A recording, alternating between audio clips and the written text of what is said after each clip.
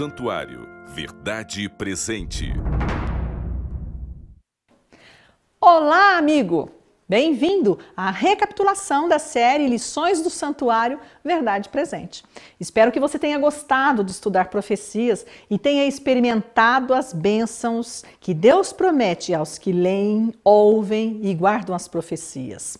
Nesse estudo, veremos aproximações e distanciamentos da fé adventista em relação a outras religiões cristãs. Nossa fundamentação continua sendo o texto bíblico, o está escrito. Poderíamos ter usado muito material para fundamentar nosso estudo, mas nós optamos unicamente pela Bíblia, por respeito a você que deseja ouvir somente a palavra de Deus. Já ouvi muita gente dizer que os adventistas só sabem explicar a purificação do santuário usando os escritos de Ellen White e que só sabemos achar 1844 em Daniel 8,14 se utilizarmos os textos de Ellen White. Sabe que, de fato, ela escreveu muito sobre expiação e o santuário celestial. Esse assunto foi exaustiva e delicadamente desenvolvido por ela. Mas não os usei por respeito a você, ouvinte. Então, agora vamos para um teste final. Veja como você se sai com essas perguntas. Como explicar que contaminação e purificação do santuário não é invenção dos adventistas do sétimo dia? Como encontrar o juízo investigativo de 1844 em Daniel 8,14? Como conciliar Daniel 8 e 9 e por que isso é importante? Qual o melhor argumento bíblico de que o chifre pequeno de Daniel 7 e 8 não é Antíoco Epifânio? A Bíblia diz que Deus lança nossos pecados nas profundezas do mar, mas os adventistas do sétimo dia dizem que nossos pecados estão no santuário celestial. Se os pecados são perdoados na cruz, para que são mantidos no santuário? Não foi tudo resolvido? Por que alguns cristãos comparam a IASD a uma seita? Qual a importância do estudo das sete festas de Israel? É importante estudar o santuário levítico em nossos dias? A resposta a qualquer uma dessas perguntas vai necessariamente desaguar em outra, porque o assunto está interligado e é impossível responder com poucas palavras. Mas vamos começar? Vamos então para a primeira questão. Como explicar que contaminação e purificação do santuário não é invenção dos adventistas do sétimo dia? Cristãos protestantes e evangélicos dizem que não existe contaminação e purificação do santuário, dizem que não há transferência de pecado porque a imposição da mão é apenas identificação do pecador com sua oferta, que a doutrina do santuário torna a obra de Jesus na cruz inacabada. E dizem também que não pode haver contaminação do santuário celestial de jeito nenhum. Sabe que essas questões são pertinentes e são tão importantes que, se de fato protestantes e evangélicos estivessem certos, não haveria razão da existência da Igreja Adventista do sétimo dia.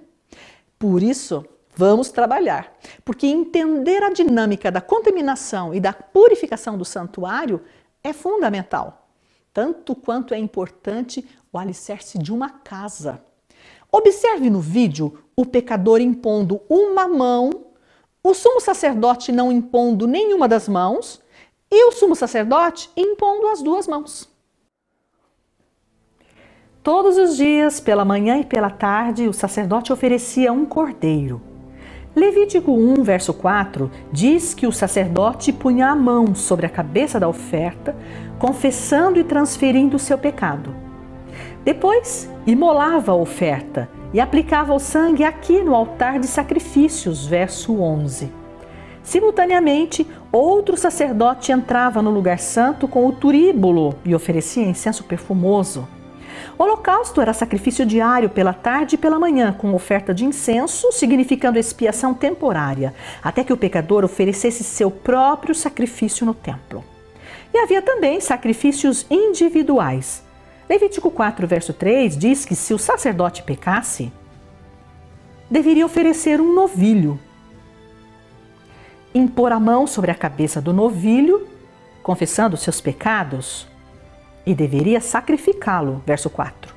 Outro sacerdote levava o sangue da oferta para o lugar santo, verso 5, e o aplicava aqui nesse altar, verso 7.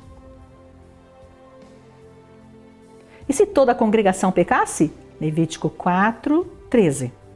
Então o povo também oferecia um novilho, verso 14. E os anciãos da congregação punham as mãos sobre a cabeça do novilho, verso 15. E o sacerdote levava o sangue para o lugar santo, verso 16, aplicando-o aqui no altar de incenso. E se um príncipe pecasse, verso 22? O príncipe oferecia um bode, verso 23 punha a mão sobre a cabeça do bode e o imolava. Verso 24. O sacerdote aplicava o sangue no altar de sacrifícios. Verso 25. E se qualquer pessoa pecasse, verso 27, uma pessoa como eu e você, então devia oferecer uma cabra transferir seus pecados com imposição de mão, e então o sacerdote aplicava o sangue aqui no altar de sacrifícios. Versos 28, 29 e 30. Durante o ano inteiro, o santuário ia sendo contaminado, assumindo os pecados. Na cerimônia anual do dia da expiação, o santuário era purificado. Então vamos agora para Levítico capítulo 16. Os versos 5 e 6 nos informam que os animais que faziam parte da expiação eram um carneiro para o holocausto, um novilho, um bode para o Senhor e um bode chamado emissário ou azazel. No dia da expiação, o sumo sacerdote entrava no Santíssimo pela primeira vez com o incensário, Levítico 16, 12 e 13. Oferecia incenso e as orações do povo em nome do Cordeiro de Deus subiam, o Cordeiro que morreria no futuro. Depois, o sumo sacerdote saía para o pátio e sacrificava o novilho, sumo sacerdote entrava no Santíssimo pela segunda vez com o sangue do novilho. Aplicava-o aqui no propiciatório, verso 14. Depois no altar de incenso e no altar de sacrifícios. Então sacrificava o bode para o Senhor. Voltava para o Santíssimo, aplicava o sangue do bode para o Senhor aqui no propiciatório, verso 15, depois no altar de incenso, verso 16, e no altar de sacrifícios, verso 18. Levítico 16, verso 19, diz que o sangue aplicado na arca da aliança, no altar de incenso e no altar de sacrifícios purifica o santuário das impurezas dos filhos de Israel. Observe que interessante. Aqui o sangue contamina e aqui o sangue purifica. Contaminação, purificação. Agora pense e responda: onde os pecados retirados do santuário estão agora? Acertou quem disse que estão sobre o sumo sacerdote, porque ele assumiu as impurezas que estavam no santuário. Percebeu que não houve imposição de mãos sobre o novilho e nem sobre o bode para o Senhor? Era sangue incontaminado do novilho e do bode para o Senhor, que purificou o santuário. Havendo, pois, acabado de fazer expiação pelo santuário, pela tenda da congregação e pelo altar, então fará chegar o bode vivo. Levítico 16 e 20. Era a vez desse bode aqui fazer expiação. O sumo sacerdote impunha as duas mãos sobre a cabeça do bode emissário, verso 21, fazendo expiação punitiva. Lançava sobre ele toda a culpa pela maldade que há no mundo inteiro. A expiação redentiva aconteceu aqui, com o sangue do novilho e do bode para o Senhor.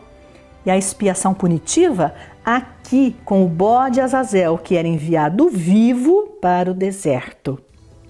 Então o sumo sacerdote trocava as vestes de linho branco pelo traje de luxo com peitoral de pedras preciosas, verso 24, e sacrificava este carneiro aqui, sem imposição de mãos, em holocausto. O holocausto representa a cruz, representava a graça, garantia do perdão, garantia de salvação. Toda a cerimônia era encerrada com graça.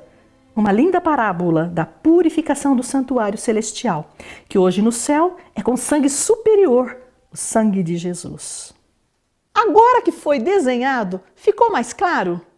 Uma mão, nenhuma mão, as duas mãos. Didática divina para ensinar doutrina nas entrelinhas porque de fato não há um texto na Bíblia que diga que a imposição de mão era para transferência. Não está nas linhas, mas o vídeo permitiu que a gente fizesse leitura nas entrelinhas. E isso também não é invenção adventista. Isso é uma técnica de literatura. Precisamos fazer leitura nas entrelinhas o tempo todo na vida. Encontramos conteúdos nas entrelinhas o tempo todo na Bíblia. As profecias foram dadas nas entrelinhas, caso contrário, as fogueiras de queima total, as Bíblias teriam destruído todos os exemplares. Aqui no quadro, temos a posição distinta de cada grupo. Para os adventistas, a imposição de uma mão significa a transferência do pecado do pecador para o animal que morria e tinha o seu sangue contaminado aplicado no santuário portanto, contaminação do santuário. Outra coisa, para os adventistas do sétimo dia, o perdão só era alcançado depois que o sangue era aplicado no santuário. E atenção para isto: a ação do pecador de levar o cordeirinho e oferecer o cordeirinho no santuário representava a fé do pecador no cordeiro que viria. Mas para cristãos protestantes e evangélicos, a salvação era sim obra a ação do pecador. Porque entendem que antes da cruz a salvação não era pela graça mediante a fé, mas pela obediência à lei. Então, o que acontecia no santuário do Antigo Testamento era assim: o pecador levava sua oferta, o apresentava no santuário e orava com imposição da mão, como que dizendo assim: essa daqui é a minha oferta, aqui está o meu pedido de perdão, identificação. A imposição da mão sobre a cabeça do animal era unicamente para identificar o pecador com sua oferta. Pronto. Já que pensam que salvação antes da cruz era pela obediência à lei, então bastava obras de obediência. Por isso que para nossos irmãos cristãos não havia transferência de pecado, muito menos contaminação do santuário. Mas eu quero perguntar uma coisa. Se a imposição da mão era apenas identificação do pecador com sua oferta, como é que eu explico a imposição com uma mão? Depois, nenhuma das mãos. E depois, com duas mãos. A resposta está nas entrelinhas, porque não era a mesma coisa. Havia significados diferentes. Todos os dias o santuário era contaminado com os pecados do povo transferidos para o animal e transferidos para o santuário. No dia da expiação, novilho e bode faziam expiação sem imposição de mãos. Ou seja, o sangue do novilho e do bode para o Senhor eram os responsáveis pela purificação do santuário, justamente porque não recebiam pecado por transferência. Observe aqui que o sumo sacerdote não impunha a mão sobre o novilho e sobre o bode para o Senhor, esse sangue do novilho e do bode para o Senhor purificava o santuário. No fim do dia da expiação, os pecados estavam sobre o sumo sacerdote. Lembra que ele, o sumo sacerdote, aplicava o sangue incontaminado do novilho e do bode para o Senhor no Santíssimo, depois no santo e depois no pátio, limpando de dentro para fora. Portanto, quando retirava o pecado do santuário, ele, o sumo sacerdote, os assumia.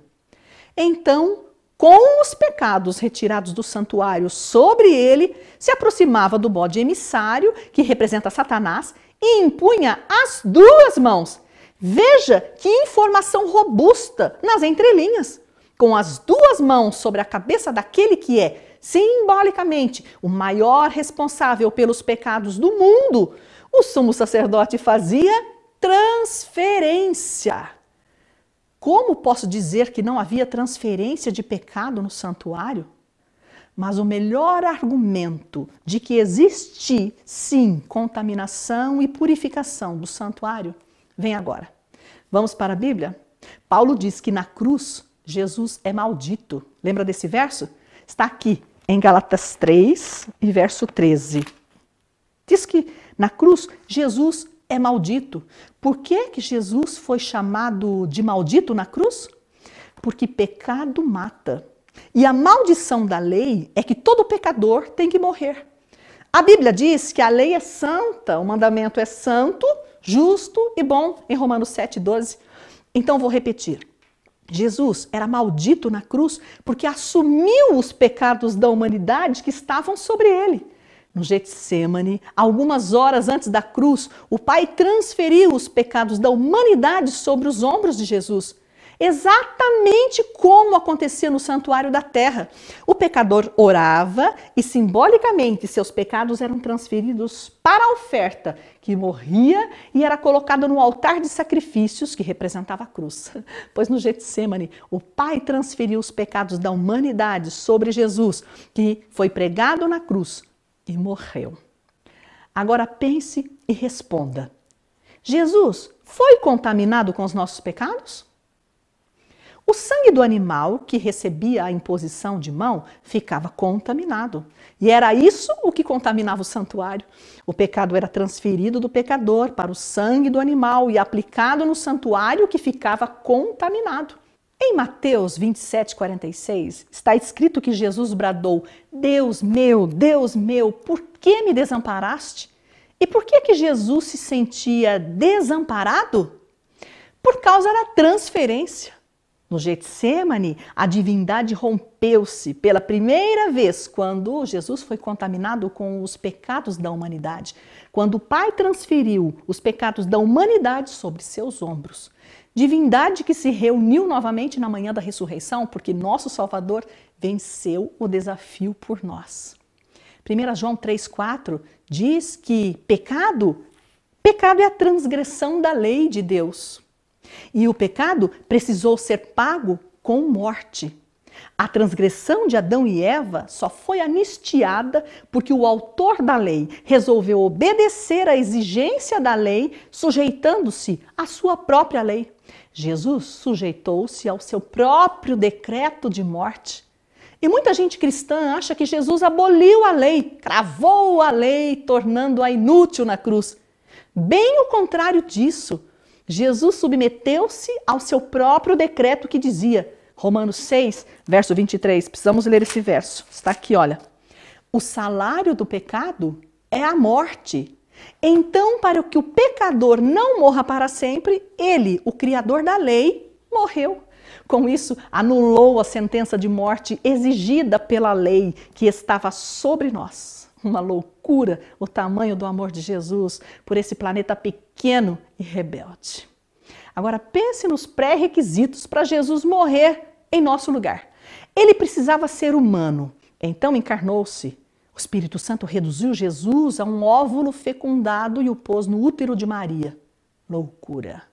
Jesus precisava ser obediente à lei e foi obediente até a morte, morte de cruz, o pior tipo de morte. Loucura.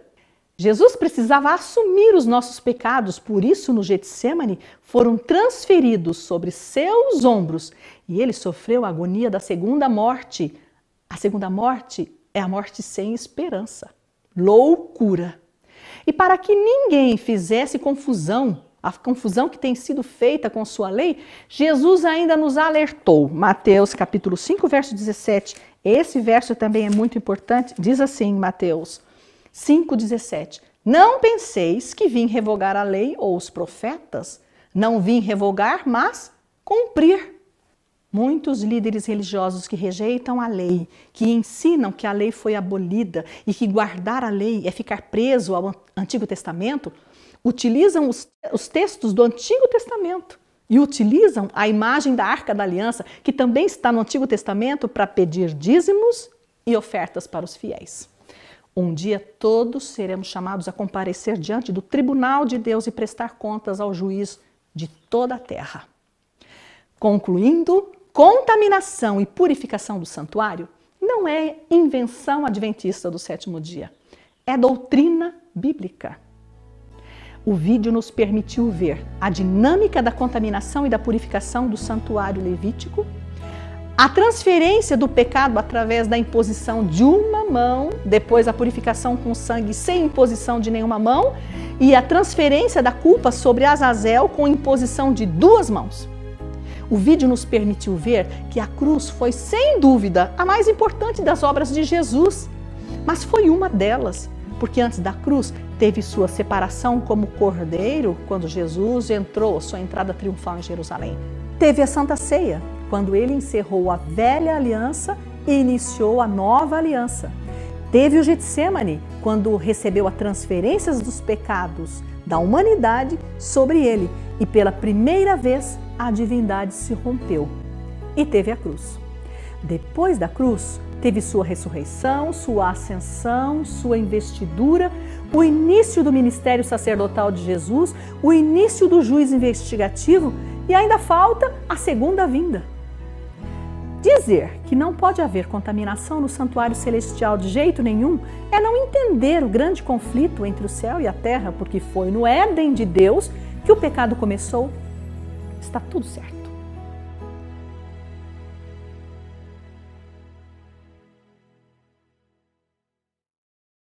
Questão 2. Como encontrar o juízo investigativo de 1844 em Daniel 8,14?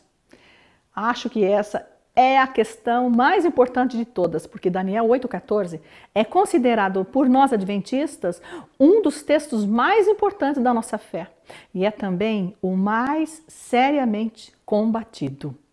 O verso diz assim: Até duas mil e trezentas tardes e manhãs, e o santuário será purificado. Então, muitos dizem: onde está 1844 nesse verso? Onde está o tal juízo investigativo nesse verso? Bom, talvez você tenha percebido que já traçamos sobre esse assunto, já começamos a responder essa questão na questão anterior, porque tudo começa pela contaminação e purificação do santuário, que, se for bem compreendido, resolve muito desse conflito, desse desentendimento. Então, vamos continuar o nosso trabalho. Olha, vamos sugerir algumas explicações. A primeira explicação é assim: se você tiver pouco tempo e precisar responder essa questão de modo bem resumido, então desenhe essa coluna de Daniel 7. Aqui está ela. A profecia informa que vão se passar quatro impérios mundiais, vai passar o império do chifre pequeno, cujas ações recebem destaque. Em seguida, vemos a cena de um tribunal montado no céu. E o último ato na coluna de Daniel 7, observe, é a volta de Jesus, o reino de Deus na terra. A volta de Jesus aparece logo depois do juízo investigativo. Pronto, Está tudo aqui. Mas se não for suficiente, nós podemos dar uma resposta, uma outra resposta, com mais detalhes. Veja, essa é a segunda explicação.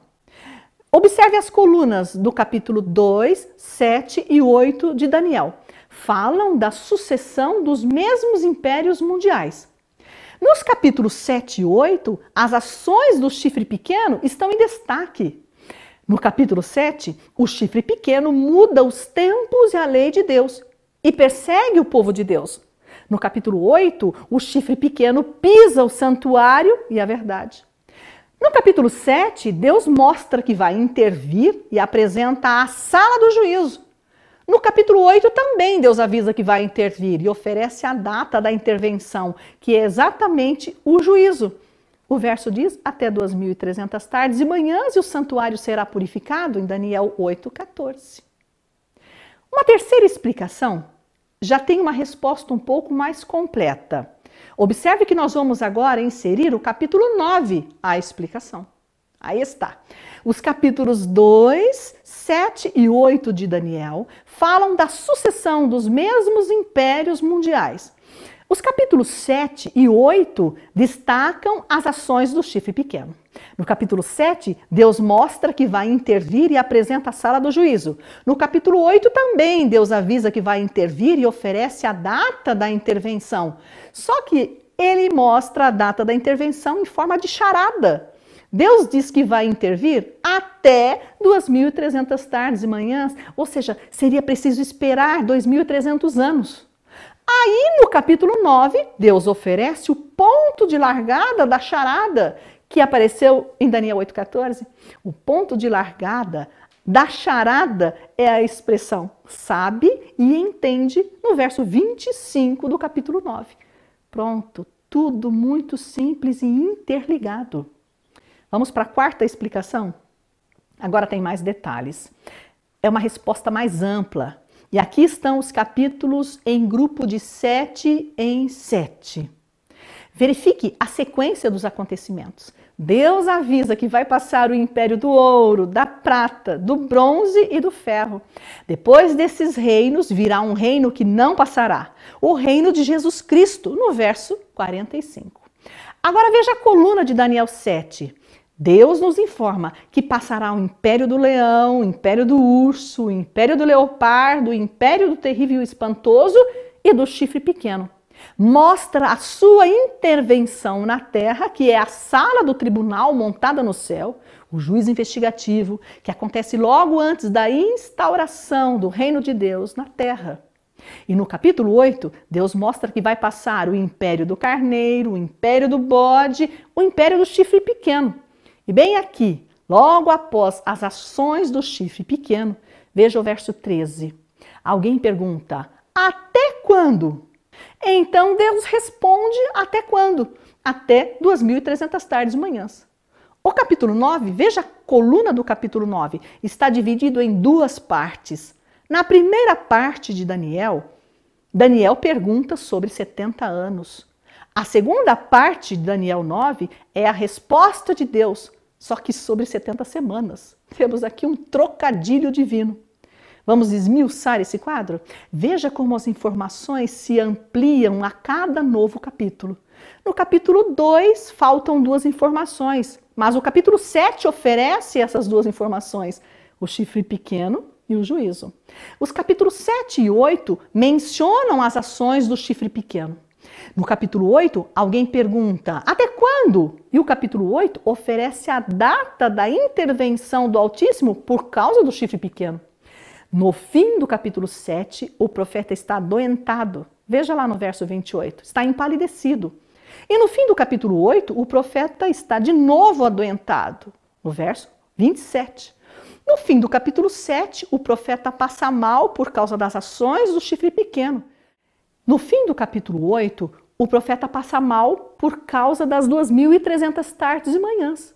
Observe que o verso 27 diz que ninguém entendia as 2.300 tardes e manhãs, pois a ampliação do capítulo 8 está no capítulo 9. A resposta das 2.300 tardes e manhãs, que não foi entendida no capítulo 8, foi reexplicada no capítulo 9, dos versos 24 a 27.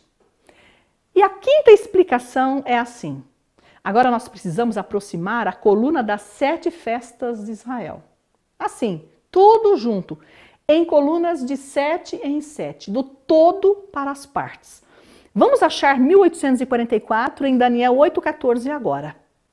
Daniel 8,14 diz: Até 2.300 tardes e manhãs e o santuário será purificado. As palavras-chave desse verso são santuário e purificado. Santuário e purificado combina com qual das festas de Israel? Pensa bem. A festa da expiação. Pois a festa da expiação é a festa da purificação do santuário. Aponta para o início de um julgamento no céu, antes da volta de Jesus. Porque em Daniel 7, verso 10, está escrito que assentou-se o tribunal e abriram-se os livros no céu. No capítulo 8, Deus oferece a data do início desse julgamento celestial que purifica o santuário. Agora, dê mais um passo para a direita e vamos para Daniel 9. Aqui está em Daniel 9, o ponto de largada das 2.300 tardes e manhãs. O ponto de largada das 2.300 tardes e manhãs são as 70 semanas que começam em 457 a.C. e termina em 1844. 457 a.C. é a data mais apropriada, porque até magistrados foram destacados para acompanhar a comitiva que voltava do cativeiro. Pronto, está tudo nesse quadro. Sabe que certa vez ouvi alguém dizendo que achava um absurdo dizer que Daniel não entendeu as 2.300 tardes e manhãs? Essa pessoa disse assim: Imagina você, irmão, que Deus manda o anjo Gabriel explicar para, para o profeta uma coisa e o profeta não entende. Seria muita incompetência do anjo Gabriel, não acham? Mas sabe que não é que Gabriel foi incompetente. Daniel é que foi humano. E ele continuou sem entender até o capítulo 12. Dá uma olhada em Daniel 12, verso 4. Deus diz para o profeta Daniel: encerra as palavras e sela o livro. E como Daniel não entendia mesmo, no verso 9 Deus falou para Daniel: Vai, Daniel, porque essas palavras estão encerradas e seladas até o tempo do fim. Hoje nós sabemos que o tempo do fim profético foi 1798 e que nesse tempo o livro de Daniel foi descelado. Você entendeu tudo? Se disserem para você como achar 1844 em Daniel 8,14, faça o quadro Levante as colunas de sete em sete com as festas de Israel. Caminhe para frente a partir da expiação, porque o conteúdo está todo ali. Percebeu como é importante a compreensão das festas de Israel? Mas antes de encerrar, um comentário ainda sobre as festas de Israel. Observe o quadro. Para os adventistas do sétimo dia, Páscoa e pães asmos significa a morte e sepultamento de Jesus primícias, ressurreição de Jesus, Pentecostes, a investidura de Jesus, trombetas, Jesus anunciando períodos proféticos sobre o tempo do fim, expiação, Jesus presente na sala do tribunal iniciando o juízo investigativo no céu, e a festa de tabernáculos, a volta de Jesus. Mas cristãos protestantes e evangélicos interpretam as festas assim: olha, compare os dois entendimentos. Observe os quadros. O que é flagrante? O que você olha e vê de cara? Aqui eu vejo Jesus em cada festa como protagonista. Aqui Jesus até se apresenta, mas é coadjuvante. É ou não é flagrante isso? Que são os adventistas, que são seita, porque seita é termo pejorativo, destinado a grupos religiosos que tiram Jesus do centro da mensagem. Concorda comigo que tem muita gente precisando rever seus conceitos sobre o Adventismo?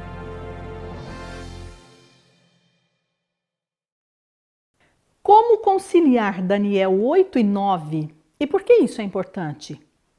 Essa é uma questão de extrema importância, porque para muitos cristãos, o capítulo 8 de Daniel fala de um assunto e o 9 de outro assunto. Os cristãos, em geral, associam as ações do chifre pequeno de Daniel 8 a Antíoco Epifânio. E as 2.300 tardes de manhã seriam, por exemplo, 1.150 dias profanados por ele no Templo de Jerusalém. O capítulo 9 estaria relacionado a coisa totalmente diferente do capítulo 8. Porque cristãos protestantes e evangélicos separam as 70 semanas de Daniel 9, 24 a 27 das 2.300 tardes e manhãs. E a última semana das 70 semanas de Daniel 9 é lançada para o futuro, abrindo um intervalo na maior profecia de tempo da Bíblia. Intervalo que não aparece na Bíblia de jeito nenhum, nem nas linhas e nem nas entrelinhas. E essa questão é de extrema importância, porque a teoria do intervalo, que lança a septuagésima semana para o futuro, desmonta a engrenagem formidável que existe entre as profecias de tempo da Bíblia. Então, vamos trabalhar? Nos capítulos 8 e 9 de Daniel, a palavra visão é traduzida de duas formas diferentes por razão e por maré. Razão significa visão no sentido amplo. Maré também significa visão, mas é como se fosse num sentido mais específico. Então vamos para o texto. Veja, nós temos aqui no quadro o capítulo 8 e o capítulo 9. O verso 1 de Daniel 8 diz assim: que Daniel teve uma razão. O verso 2: Quando a razão veio a Daniel, ele estava em Suzã. Verso 13: Um anjo pergunta Até quando? Até quando vai a visão do santuário e da verdade sendo pisados? Verso 15. Daniel procura entender a razão. Verso 16. Uma voz diz para o anjo Gabriel fazer Daniel entender a maré. O verso 17 diz assim: a razão se refere ao tempo do fim. E o verso 26, veja, a maré, que é sobre as tardes e manhãs, se refere a dias muito distantes. Verso 27. Daniel se espantava com a maré e ninguém entendia a maré, que são as 2.300 tardes e manhãs. Agora observe no quadro o capítulo 9 de Daniel. Esse capítulo começa com uma longa e linda oração de Daniel. Em seguida, a segunda parte do capítulo trata da maré. O verso 21 diz que vários anos depois, Daniel vê o anjo Gabriel que havia visto antes, a princípio, na razão. E o verso 23 diz assim: O anjo diz para Daniel considerar e entender a maré, que o profeta não havia entendido, que são as 2.300 tardes e manhãs, a purificação do santuário. Por isso, a parte final do capítulo 9, que vai dos versos 24 a 27, é a explicação da maré. O capítulo 7 amplia as informações do capítulo 2. O 8 amplia as informações do capítulo 7. E o capítulo 9 amplia as informações do capítulo 8. Assim, os conteúdos se processam. Agora, meu amigo, depois de tantas evidências bíblicas, não continue acreditando na teoria do intervalo que separa as 70 semanas das 2.300 tardes e manhãs. Não acredite nesse tal de arrebatamento secreto estabelecido no intervalo que também não tem fundamentação bíblica. O conselho de Jesus é: quem lê, entenda. Jesus quer dizer, mergulhe, vá fundo. Parabéns para você que chegou até aqui.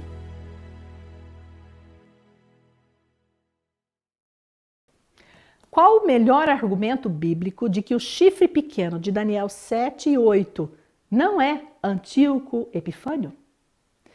Ah, eu gostaria é que o chifre pequeno de Daniel 7 e 8 fosse mesmo o tal de Antíoco Epifânio. Sabe por quê?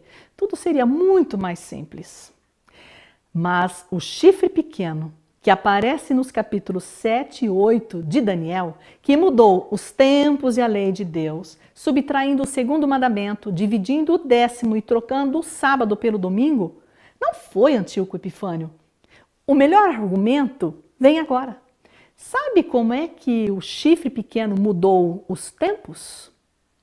A Bíblia diz assim em Daniel 7,25: Proferirá palavras contra o Altíssimo magoará os santos do Altíssimo e cuidará em mudar os tempos e a lei. Cuidará em mudar os imen, que significa tempo relacionado a calendário. Também podemos ler Daniel 7:25 assim, veja: Proferirá palavras contra o Altíssimo, magoará os santos do Altíssimo e cuidará em mudar o calendário e a lei. É verdade que Antíoco Epifânio, quase dois séculos antes de Cristo, proibiu os judeus de guardarem o sábado, mas ele nunca teve nada a ver com mudança de calendário. Outra coisa, já ouvi gente sincera dizendo que o sábado se perdeu no tempo com as mudanças de calendário. Mas presta bem atenção nesse detalhe. Olha, Jesus, a mãe de Jesus, todos os apóstolos guardavam o sábado e todos utilizavam o calendário juliano, que seguia o ciclo semanal de sete dias, como hoje. De lá para cá, houve uma mudança de calendário. O calendário juliano foi substituído pelo gregoriano em 1582 pelo Papa Gregório. Quando ele fez essa mudança, excluiu 10 dias. Você pode conferir nos livros de história que o mês de outubro de 1582 vai do dia 4 para o dia 15. Dez dias foram excluídos. Só que o dia 4 foi uma quinta-feira e o dia 15 foi uma sexta-feira. O mês foi mexido, mas não houve qualquer alteração no ciclo semanal.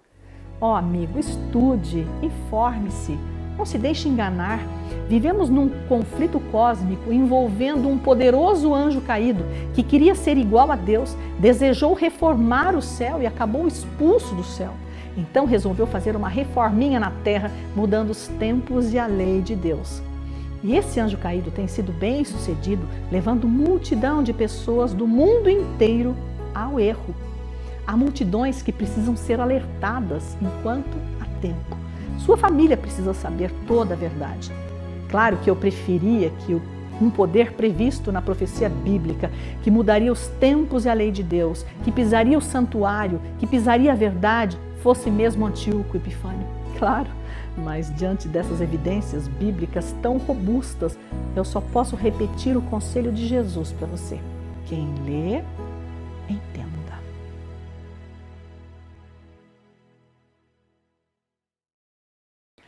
A Bíblia diz que Deus lança nossos pecados nas profundezas do mar, mas os adventistas dizem que nossos pecados estão no santuário celestial. Se os pecados são perdoados na cruz, para que são mantidos no santuário? Não foi tudo resolvido na cruz? Sim, tudo completamente resolvido na cruz. Mas não foi tudo encerrado. Isso não é nenhuma heresia, porque foi Deus quem inventou o sistema. Isso acontecia no santuário da terra. Veja como se processava o perdão no santuário levítico, porque o pecador sempre recebia o perdão na hora, mas os pecados ficavam sim registrados no santuário. O que acontecia quando o povo todo pecava? O povo trazia um novilho, Levítico 4, verso 14. Os anciãos impunham as mãos sobre o novilho e o pecador imolava o novilho, verso 15.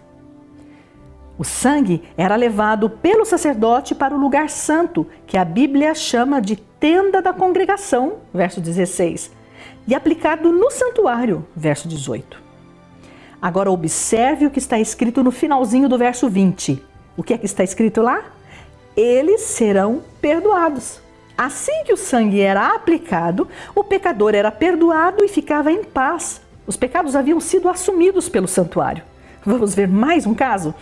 E se o príncipe pecasse? Levava um bode, verso 23. O sangue era aplicado no altar de sacrifícios, verso 25. E os pecados eram perdoados, verso 26. Pronto! Os pecados do príncipe ficavam no santuário e ele voltava para casa perdoado e em paz. Mais um exemplo? É Levítico 4, verso 27, diz que se uma pessoa qualquer pecasse, então devia levar uma cabra. Verso 28. O sangue da cabra era aplicado também no altar de sacrifícios. Verso 30. E o verso 31 diz que os pecados eram perdoados. Na hora, os pecados eram perdoados assim que aplicados no altar do santuário. É muito comum dizerem que o Adventismo é seita, porque ensina que os pecados ficam registrados no santuário, nos livros do santuário celestial, e que a Bíblia ensina que os nossos pecados são lançados no fundo do mar e que Deus já não se lembra mais deles. Está certo? Quando a Bíblia diz que nossos pecados perdoados estão no fundo do mar, é a mesma coisa que dizer que eles estão no santuário celestial. Tanto faz dizer que eles estão lá no alto, no santuário, ou lá embaixo, no fundo do mar, porque isso significa dizer que os pecados já não estão mais na mente ou no coração. Para se entender a realidade do ministério de Jesus acontecendo hoje no céu, é preciso entender bem a sombra, os tipos apresentados em forma de parábola no santuário levítico, no santuário do Antigo Testamento. Meu amigo, se você ainda está com dúvidas, acalme-se. Esse assunto precisa mesmo sedimentar.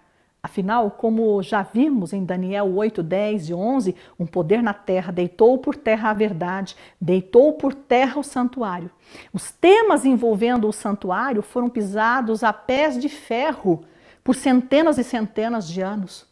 E é hora de virem à superfície. A Bíblia diz que os sábios entenderão. E está na hora, porque o tempo está próximo. No santuário levítico, o pecador recebia perdão na hora, mas os pecados ficavam sim registrados no santuário. E o mesmo acontece no céu. Veja alguns motivos. Porque uma vez salvos, precisamos permanecer salvos. É isso que a Bíblia diz aqui em Colossenses 1, 13, 14 e 22. Paulo escreveu que Jesus nos libertou do império das trevas, nos deu a remissão dos pecados para vivermos santos, inculpáveis, irrepreensíveis. Não existe nenhum verso na Bíblia que diz que uma vez salvo, salvo para sempre. O que existe é que precisamos permanecer. Outro motivo: a Bíblia diz que no santuário celestial recebemos poder para permanecer. Podemos encontrar isso em Hebreus, Hebreus capítulo 4, verso 16. Ali Deus nos convida a nos achegar a Cristo no santuário celestial, porque Ele é amoroso, Ele tem misericórdia e nos socorre em nossa necessidade. Terceiro motivo, assim como os pecados ficavam registrados no santuário levítico para expiação, para juízo, os pecados ficam registrados no santuário celestial hoje para juízo também, porque um dia Deus trará a juízo todas as coisas, quer sejam boas, quer sejam más. Certa vez, uma aluna me fez uma pergunta muito interessante. Ela disse assim: Professora, nossos pecados foram perdoados na cruz? E eu disse para ela que sim, totalmente. Então ela me perguntou novamente: Por que então os pecados ficam registrados no santuário? Eu disse para ela: Imagine o milênio os salvos reunidos lá e você junto. Então você descobre entre os redimidos, entre os salvos, um bandido conhecido de sua pequena cidade na velha terra. Suponhamos que você vá ligeiro até Jesus e diga mais ou menos assim para Jesus: Senhor, o fulano de tal, aquele ali, era bandido, bandido perigoso, lá numa cidadezinha minha na terra. Será que ele deveria mesmo estar aqui? Então vai ser nesse momento que Deus vai abrir o livro da vida do senhor fulano de tal e vai dizer: aqui está o registro do crime. E ao lado você lê perdoado. Maravilhosa graça. Maravilhosa graça de Jesus. É por isso que os registros permanecem no céu para confirmação.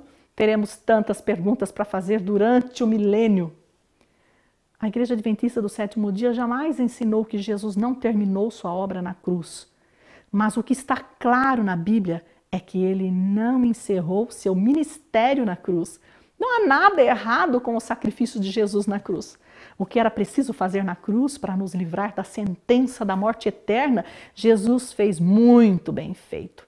Mas a Bíblia diz sim, em Hebreus 9, 23, já lemos esse verso, que era preciso que as figuras das coisas que se acham no céu se purificassem com sacrifícios animais, mas as coisas celestiais, o santuário celestial é purificado com sacrifício superior ao sacrifício de Jesus. E isso ninguém pode mudar. Sabe que tem gente que acha um absurdo a ideia de que o santuário celestial precisa de purificação? Mas é a Bíblia que diz isso. E é o que acabamos de ler. Tem mais um verso interessante em Levítico, olha, Levítico 16, verso 19, diz assim: Diz que o santuário levítico precisava ser purificado das impurezas dos filhos do Israel literal. E o santuário celestial precisa ser purificado das impurezas do Israel espiritual, que somos eu e você hoje. O santuário celestial se purifica com o sangue superior, o de Jesus Cristo. Esta é a nova aliança, a passagem do sangue de bodes e touros para o sangue superior. Se estamos na nova aliança, não é porque a lei foi abolida. Se estamos na nova aliança, é porque o sangue apresentado no céu agora é superior ao sangue de Jesus. A nova aliança foi celebrada pela primeira vez por Jesus na cerimônia da Santa Ceia. A nova aliança jamais significou que a lei foi cravada na cruz. Alguém muito desavisado escreveu que Jesus nos libertou da maldição da lei e, em consequência, da própria lei. Mas não há um só verso bíblico que diga isso. Pois experimente dirigir em alta velocidade. Experimente entrar numa loja e subtrair uma peça que você gostou muito sem pagar. Experimente tirar a vida de um animal indefeso para ver como é que a lei foi abolida. Ah, só o sábado que foi abolido? Não foi abolido. Nós fomos libertos da maldição da lei. Isso é bíblico, porque a lei ordenava a morte do pecador. E sem a cruz, cada um de nós nasceria, viveria, morreria por qualquer motivo e só para nunca mais, sem ressurreição, sem qualquer esperança. Essa era a sentença maldita. Agora, escrever na internet e ensinar nos púlpitos das igrejas que, por causa da maldição da lei, Jesus morreu na cruz e aboliu a lei, isso é mentira. Que Deus nos livre de ensinar mentiras. Agora, vamos tentar mais uma ilustração para ajudar você a entender o que estamos falando aqui, que é coisa muito séria. Lembra que no santuário levítico o sumo sacerdote aplicava o sangue que purificava na tampa da arca da aliança? Lembra o que estava guardado dentro da arca da aliança? As tábuas dos dez mandamentos escritos com o dedo de Deus. O sangue aplicado ali representava a resposta de obediência à lei, representava uma prestação de contas à lei. Por isso Jesus morreu na cruz, para pagar a conta da humanidade. Jesus vem ao mundo morrer na cruz por nós, para pagar a conta que é nossa, nem era dele. E aproveita e crava o credor. O autor da lei paga a dívida e mata o credor. Jesus paga a nossa conta, a nossa dívida e pergunta ao credor se estava tudo certinho, se a dívida estava quitada. Isso é uma resposta de obediência à lei. É assim que gente honesta faz quando paga as suas contas. Ela quer ter certeza de que não deve mais nada, por isso sangue aplicado em cima da arca da aliança. E já que estamos falando da arca da aliança, tão exibida em muitas igrejas cristãs, vamos para mais uma reflexão. Se a lei tivesse sido cravada na cruz, abolida mesmo, o que é que os anjos esculpidos em cima da arca da aliança estariam fazendo ali? Se a lei tivesse sido cravada na cruz para a abolição, não seria mais lógico os anjos esculpidos em cima da cruz? Mas o que esses anjos observam aqui em cima da arca da aliança é justamente o juízo. Os anjos observam com especial interesse como Deus vai combinar a força da lei com a opção da graça. Como Deus vai combinar a exigência da lei e a benevolência da graça para salvar cada pecador. Tem gente que diz que não acredita que Deus precisa de livros no céu para fazer qualquer contabilidade. E de fato, Deus não precisa mesmo. Até porque a Bíblia não foi escrita para Deus, mas para seres humanos como eu e você. Veja em Daniel 7, 9. Ali os registros, os livros são abertos na sala do trono. E esses livros abertos levarão à sentença final. É isso que diz o Salmo 85, verso 10. Veja, Salmo 85, verso 10, diz assim: A misericórdia e a verdade se encontraram, a justiça e a paz se beijaram. A união da misericórdia com a verdade, da justiça e o amor. Mas não se esqueça, amigo, seja você quem for, de que religião for, guarde bem esse verso, sem desconsiderar a gravidade do pecado Considere as palavras de Romanos 5, verso 20, que diz que onde abundou o pecado, superabundou a graça. Deus também avisou que ele não levará em conta o tempo de ignorância. Você já se perguntou por que o diabo ainda não morreu? Se ele teve a cabeça pisada na cruz? Jesus não fez isso porque Jesus tem um cronograma. Ele segue esse cronograma. A Bíblia diz que o diabo morrerá depois do milênio, quando será lançado para dentro do lago de fogo e enxofre. Está em Apocalipse 20, verso 10. Está tudo nesse cronograma divino. E quando estudamos profecias bíblicas, ele apresenta seu cronograma para que entendamos os tempos e as estações que vivemos.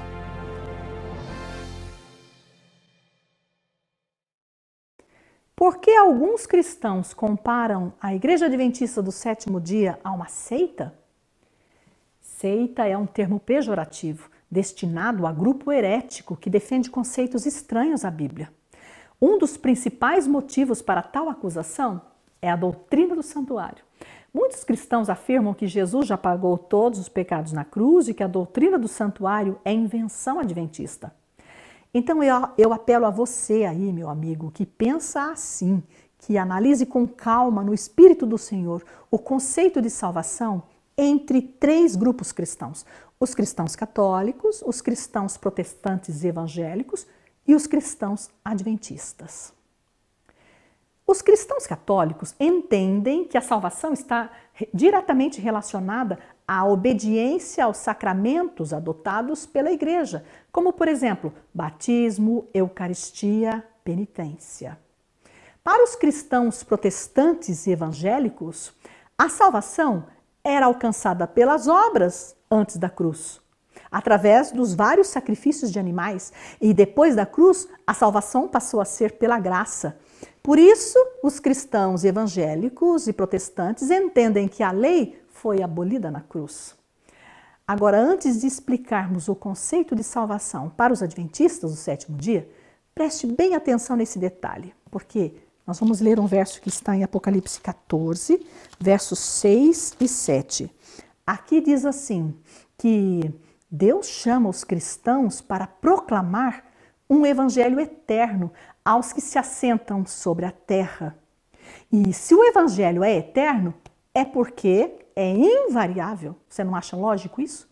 Então, se os cristãos católicos ensinam que o evangelho é servo da igreja, porque a igreja, sim, é instrumento de salvação, e os conceitos se submetem à orientação da igreja, isso não é o evangelho eterno.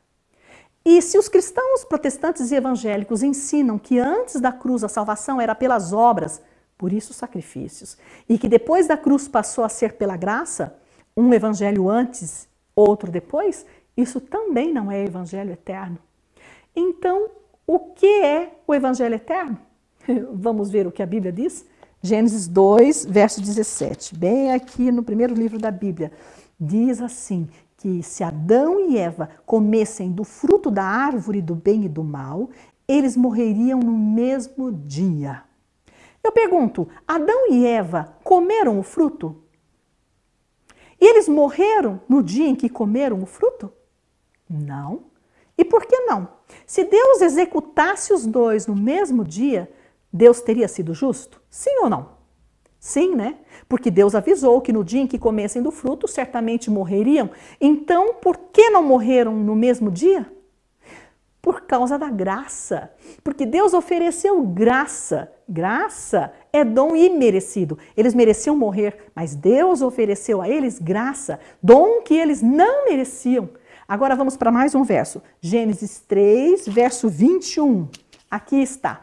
Diz que Deus faz vestimenta de pele para o casal. É que Deus sacrifica um cordeiro inocente. O cordeiro inocente derrama seu sangue por eles. Deus coloca sobre aquele cordeirinho no Éden toda a culpa do casal. Agora, o que salvou Adão e Eva de morrerem naquele mesmo dia? Outra pergunta: quem providenciou o cordeiro que morreu ali na porta do jardim do Éden para salvar Adão e Eva? Deus. O que salvou o casal foi a graça divina, o dom imerecido. O que salvou Adão e Eva lá no jardim do Éden, antes de tudo, foi a graça oferecida por Deus. Receberam graça mediante a fé que demonstraram no Cordeiro de Deus que viria. Foram salvos porque tiveram fé no Cordeiro morto desde a fundação do mundo.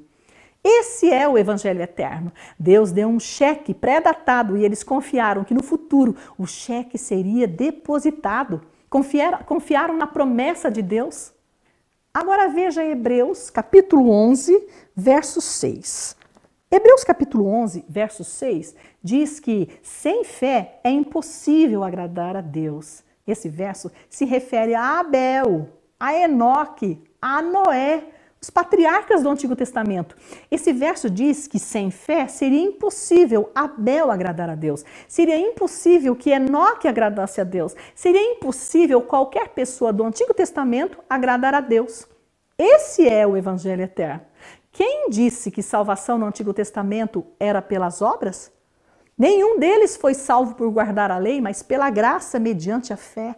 E todos eles obedeceram à lei como resposta à graça recebida antecipadamente.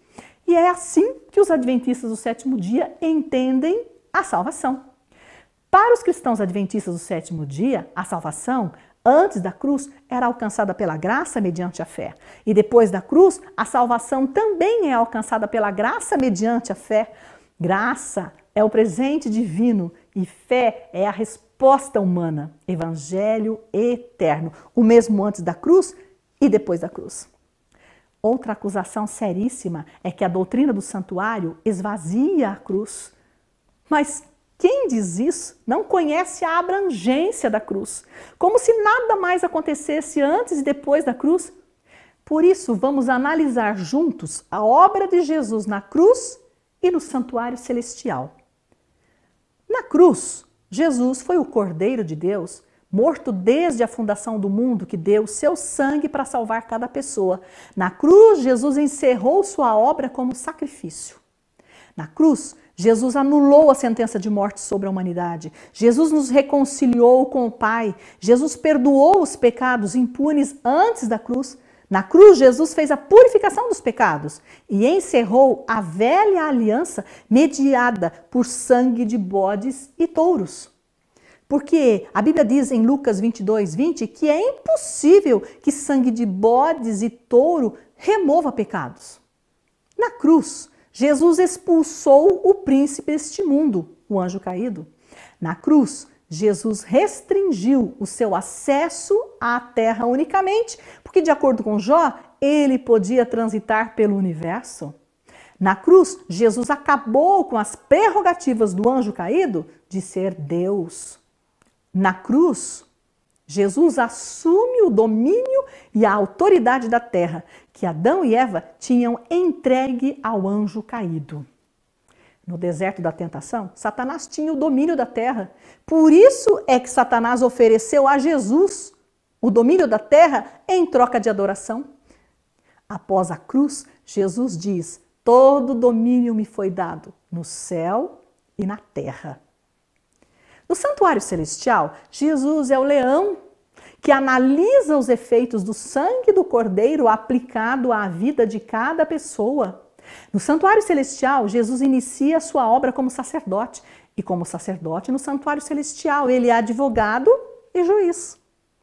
No santuário celestial, Jesus perdoa os pecados confessados hoje pela humanidade.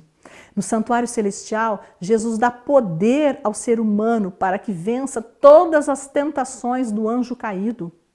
No santuário celestial, Jesus é hoje o único mediador da humanidade, é mediador da nova aliança com seu próprio sangue. Em Lucas 22, 20, está escrito que Jesus toma o cálice e diz: Este é o cálice da nova aliança no meu sangue. Porque a nova aliança seria celebrada dali em diante com vinho, não mais com sangue.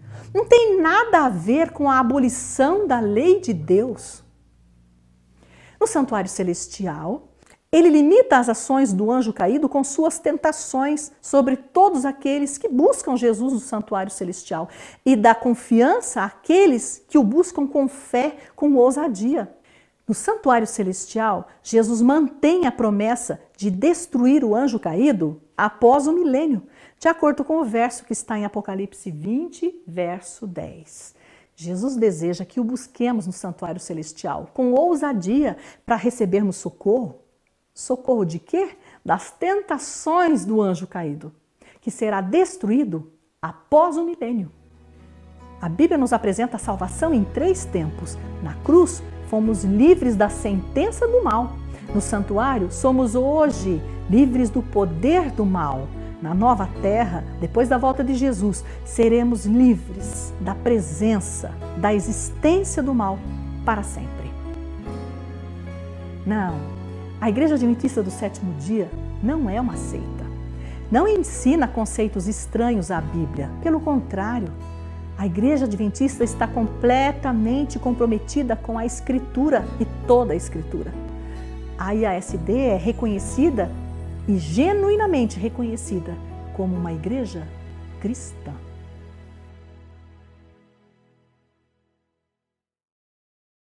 Qual a importância do estudo das sete festas de Israel? A interpretação equivocada do ministério de Jesus representado nas festas de Israel abre espaço para a interpretação errada nas profecias de tempo da Bíblia. Páscoa e pães asmos representaram morte e sepultamento de Jesus, primícias, sua ressurreição, Pentecostes, sua investidura no ano 31. Trombetas significou sinais de Jesus a respeito de períodos de tempo profético, a respeito do tempo do fim. Isso aconteceu por volta do ano de 1798. A festa da expiação representou Jesus iniciando o julgamento investigativo no Santuário Celestial em 1844. E a festa de tabernáculos representa a volta de Jesus.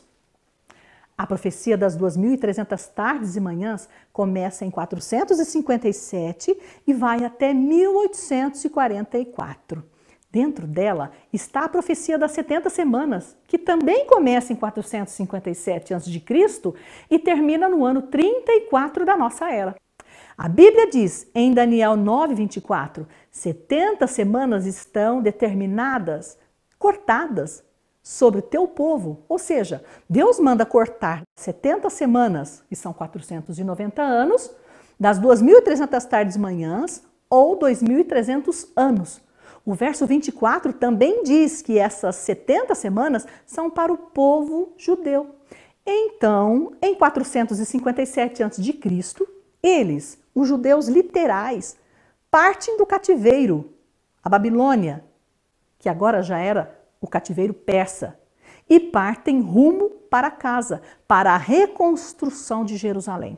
Observe que no finalzinho de Daniel 9, verso 25, no finalzinho do verso diz que a reconstrução seria em tempos angustiosos. Angustiosos. Neemias 4 nos conta sobre a angústia que sentiram para reconstruir Jerusalém, porque um tal de Sambalate fez a reconstrução ser angustiosa. As 70 semanas se referem aos judeus literais e o foco da profecia está na última semana. Os versos 26 e 27 dizem que na metade, no meio da última semana, será morto ou ungido.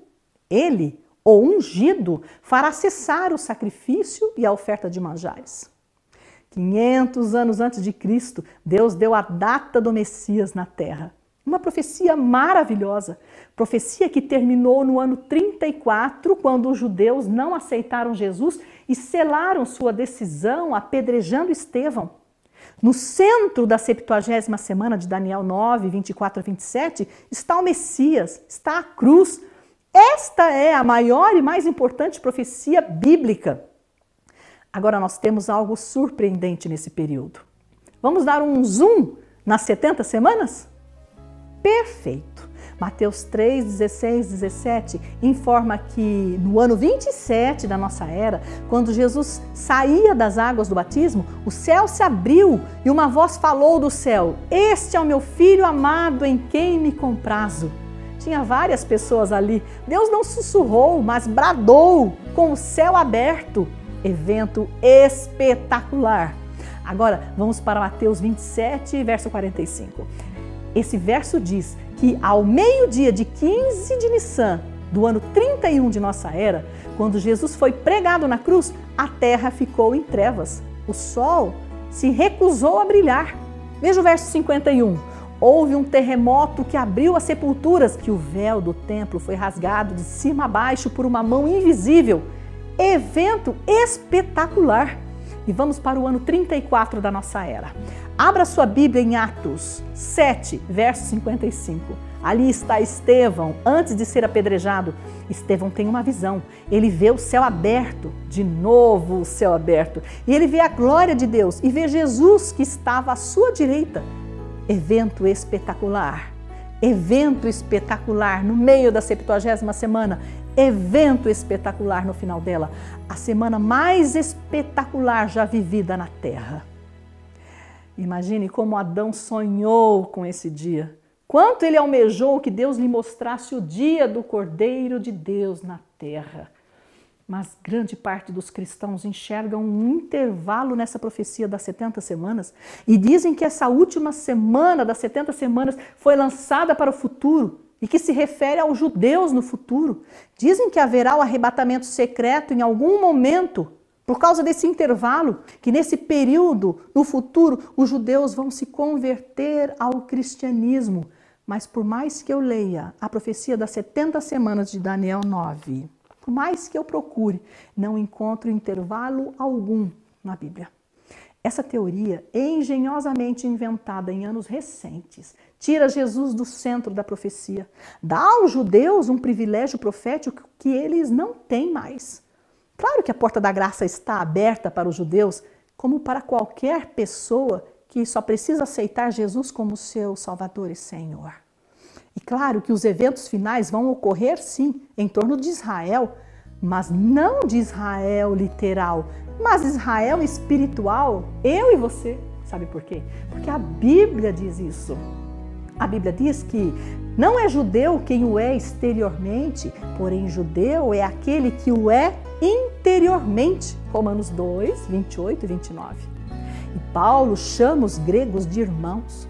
Mas os gregos eram irmãos de Paulo? Ora, irmãos, não quero que ignoreis que vossos pais estiveram todos sob a nuvem e todos passaram pelo mar. 1 Coríntios 10, 1. Sabei, pois, que os da fé é que são filhos de Abraão. Gálatas 3, 7. Porque não pode haver judeu nem grego, nem escravo nem liberto, nem homem nem mulher, porque todos vós sois um em Cristo Jesus. E se sois de Cristo também, sois descendentes de Abraão. Gálatas 3, 28 e 29. O que a Bíblia está dizendo é que eu e você somos judeus na fé. Por isso, Paulo chamou os gregos de irmãos. Eu, você, qualquer pessoa de qualquer tribo, língua ou nação, de qualquer religião que aceitar a Cristo hoje é parte de Israel. É parte da família espiritual de Deus. O estudo das sete festas de Israel, em sua perspectiva correta, nos alinha com os períodos de tempo proféticos e com a agenda divina que Deus tem em relação à terra. Maravilhoso Deus!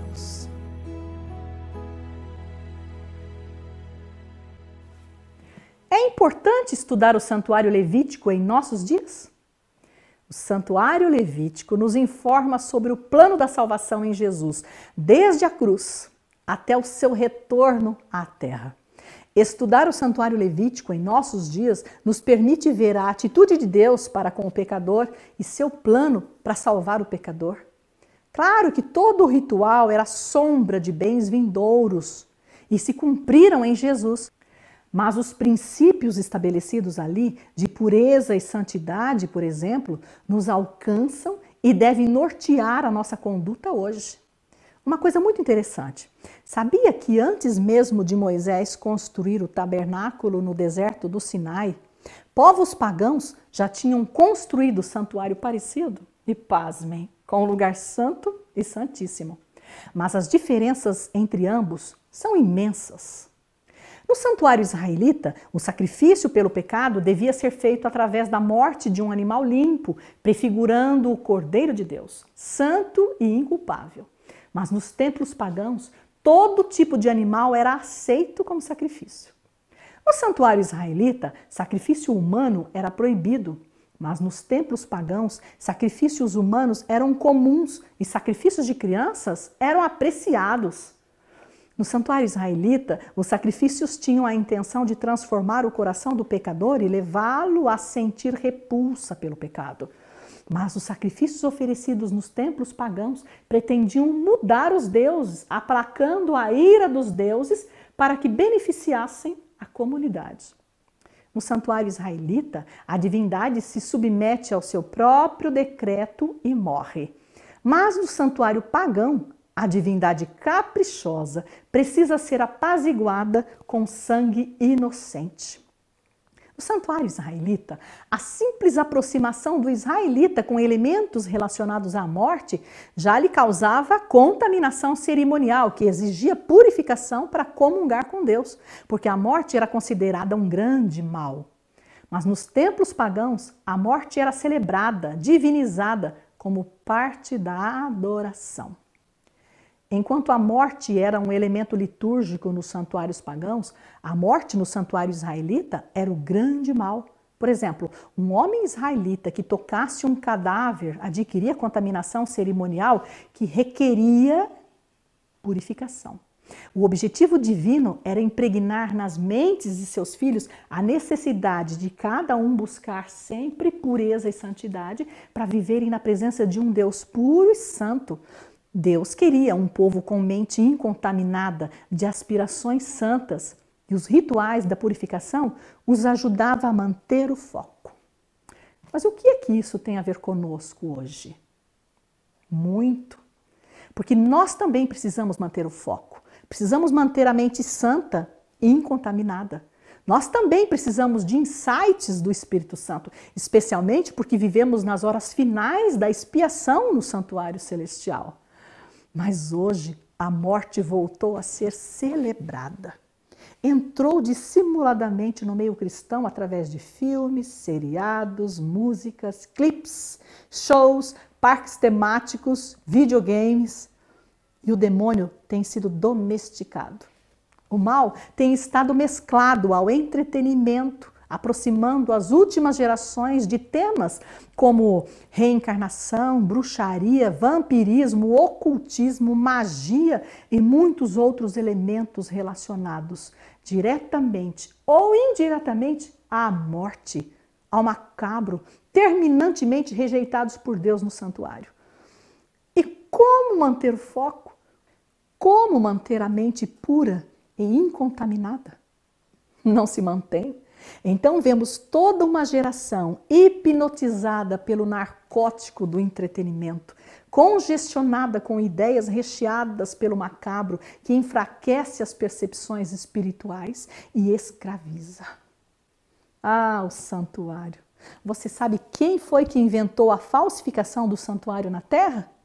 Foi aquele anjo caído. Ele foi anjo cobridor no santuário celestial. A Bíblia diz em Ezequiel 28, 14 a Bíblia diz assim, Ezequiel 28, 14, que lá no céu o anjo caído era querubim da guarda ungido. Pense na arca da aliança e nos anjos esculpidos ali em cima da arca da aliança.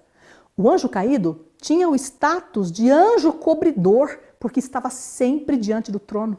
Ele falsificou a dinâmica do santuário divino e se falsifica, se mascara para enganar você. Pretende parecer um mito, uma figura cômica ou lendária. Nada real, nada para ser levado a sério. Enquanto isso, milhares de pessoas são presas em sua teia. Que jornada, hein? Estudamos profecias, estudamos o santuário levítico e o santuário celestial.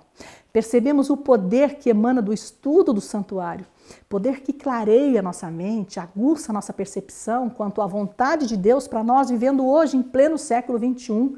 E mais, o estudo do santuário é fundamental para entendermos o Apocalipse. É premissa básica para a compreensão das profecias do Apocalipse. Temos aqui o lugar santíssimo, o lugar santo e o pátio. O pátio representa a terra esse altar aqui representa a cruz de Jesus. Poucas horas antes do Calvário, Jesus estava no Getsemane e pede: Pai, passe de mim este cálice. Orava em agonia, suava grossas gotas de sangue. E o Pai transferiu para Jesus todos os pecados da humanidade. Assim como acontecia com os pecadores no santuário levítico, aconteceu com Jesus. Na cruz, Jesus encerrou a sua obra como sacrifício, como oferta. Ele ressuscitou, ascendeu ao céu para ser ministro, sacerdote. Agora imagine o santuário celestial. A Bíblia chama o santuário do céu de verdadeiro tabernáculo que o Senhor erigiu, não o homem. Nosso grande sumo sacerdote penetrou os céus, assentou-se à destra do trono da majestade nos céus como ministro do santuário. Por isso podemos nos achegar confiadamente junto ao trono da graça, a fim de recebermos misericórdia e acharmos graça para socorro em ocasião oportuna. Qualquer momento é oportuno, porque há um só Deus e um só mediador entre Deus e o ser humano, Cristo Jesus, homem. Desde que ascendeu ao céu, Jesus é a luz do mundo em quem encontramos sentido para nossa existência. Jesus é o pão da vida em quem encontramos força para enfrentar as dificuldades. Jesus é o motivo pelo qual nossas orações são ouvidas no santuário celestial. Ele é nosso amigo mais precioso e nele temos advogado junto ao Pai. Em 1844, aqui no Santíssimo, acumulando as funções de advogado enquanto único mediador, Jesus iniciou também a função de juiz, porque o Pai a ninguém julga, mas confiou todo o julgamento ao Filho. Na cruz, Jesus cumpriu a lei que ordena: o salário do pecado é a morte. Aqui no Santuário Celestial, Jesus aplica seus méritos em favor do pecador arrependido, porque o dom gratuito de Deus é a vida eterna em Cristo Jesus, nosso Senhor. Quando o juízo investigativo terminar, Jesus voltará à terra e lançará a sentença final sobre o principal culpado pelo pecado, o anjo caído. Então haverá um novo céu e uma nova terra. Isso que foi retratado agora no vídeo é um resumão do Apocalipse, porque o Apocalipse foi estruturado nessa plataforma. Isso é muito interessante. E chegamos ao final da nossa jornada. Queria falar com você agora, você que não professa a mesma fé religiosa que eu. Sabe que eu preferia que as coisas não tivessem que ser assim? Eu preferia mesmo que Antíoco Epifânio fosse sim o chifre pequeno das profecias de Daniel 7 e 8. Eu preferia também que o anticristo, que vai se levantar em breve nos últimos dias, que tem o mesmo caráter do chifre pequeno, fosse um líder carismático, ainda desconhecido no cenário mundial. Claro que eu gostaria que as verdades divinas deixadas nesse livro santo jamais tivessem sido pisadas e que fogueiras religiosas jamais tivessem se acendido e jamais se acendessem novamente por causa desse livro. Mas não é o que a profecia diz. É muito duro caminhar contra o fluxo. É muito duro nadar contra a correnteza. É tão bom o sentimento de pertencer, de fazer parte do todo. É tão simpática aquela frase popular que diz: "Tamo junto". Mas cada dia que passa, se aproxima mais um momento em que eu e você teremos que dar um passo decisivo, ou em direção ao fluxo, ao tamo junto, ou um passo para trás. Você sabe, uma aliança planetária em torno do bem comum é tendência. Quem não percebe que o planeta geme? Quem não deseja uma liderança mundial que ajuste as coisas nesse mundo caótico?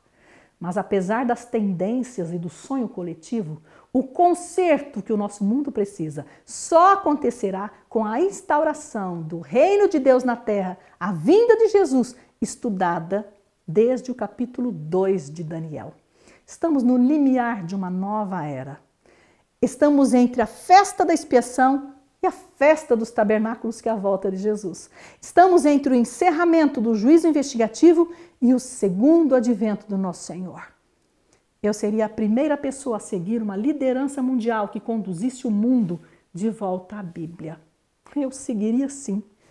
Mas Deus nos adverte a rejeitar qualquer liderança que nos afaste do está escrito da palavra. Está chegando a hora. Fica firme.